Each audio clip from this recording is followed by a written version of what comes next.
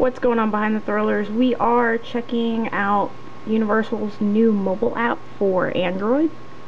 The first thing you can do is start by downloading it in the android market. You can find it by searching universal orlando or i just clicked the link directly from our article on behindthethrills.com and we're going to install it. And now we're just waiting for it to finish installing. You can see it installing right here. And now we're going to open it up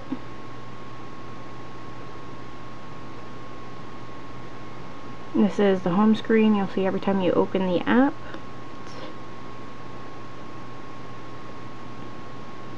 The first thing you want to do is you want to sign up for a Geodelic account. Uh, I already have one so I'm just going to log in right quick. Give me just a moment.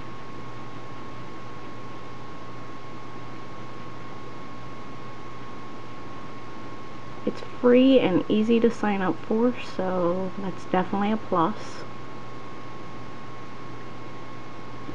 Okay, I'm all signed in and you can share through Facebook and Twitter. You just have to go and enable it. It's also easy. Let me log into my Facebook. And while I'm at it, I'm also going to log into Twitter. That way we can share stuff. Alright. And now as you can see, we're sharing through Facebook and Twitter. We're going to go to the guides home. We have Islands of Adventure, Universal Studios Florida, and City Walk. We'll start with Islands of Adventure. This is the splash screen that comes up whenever you open it. You can choose not to show this again, but for purposes of the video, we're going to show it again. Um, the app features are carousel navigation, attraction navig or information, interactive maps, GPS location, guest services, dining information and reservations, check into Facebook and Twitter and a search tool. We're going to continue. Now this is the carousel map. It tells you exactly how far you are away from what you're looking at. Um, I'm kind of far away from the park, so we're going to try checking into stuff. I'm 104 miles from Doctor Doom's Fearfall, so we're going to try that.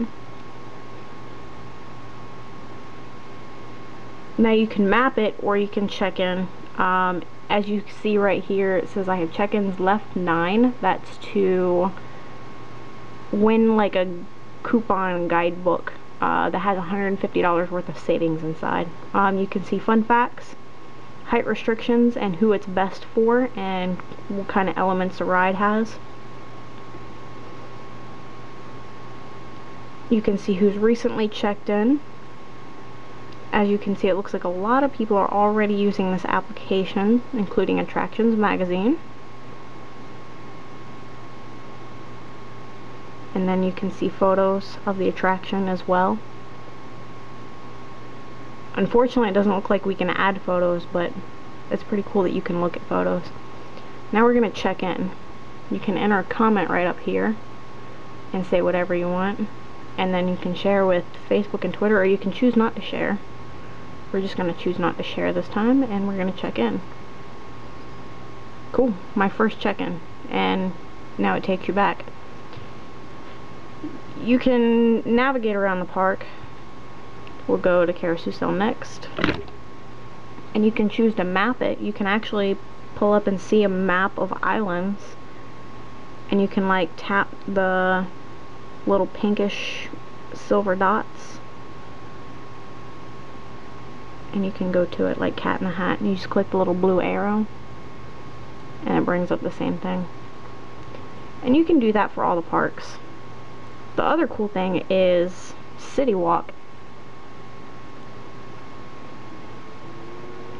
Let's say we want to go to lunch somewhere. We'll go to City Walk's Rising Star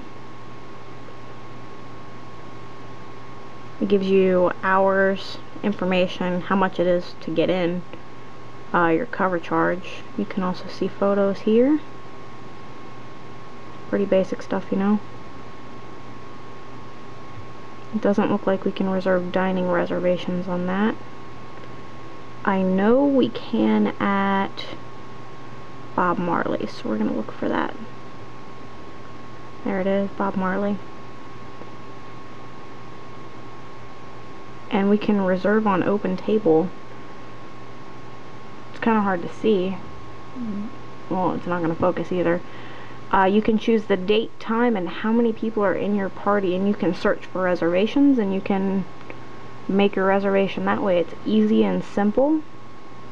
You can also call the restaurant. You just click call and it'll bring up your phone application and you can call them. And same thing you can check in on Facebook and Twitter you can also click here for the menu, but it doesn't look like that's quite working yet.